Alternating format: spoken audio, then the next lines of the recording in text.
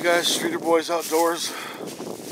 This uh, last day of deer season, and uh, last weekend anyway. I just wanted to show you what we got. We got a, got a nice muley here.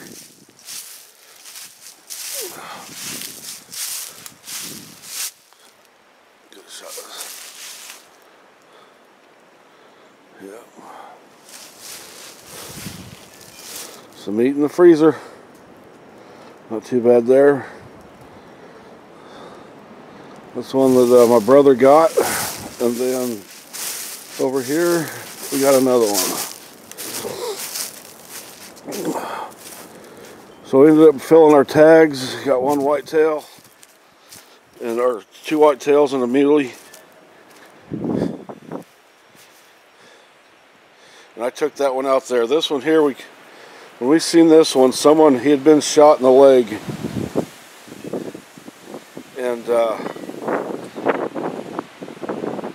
so we decided to go ahead and put our tag on him. Good shot of his horns. Yeah, he had been shot right in the leg, so right about where the, the knee, the knuckle is about right in there. So we went ahead and took him out and uh, brought him home and cut off the leg. And uh, he's in good shape. So letting him air out. We'll get uh, probably start butchering these things in a couple days.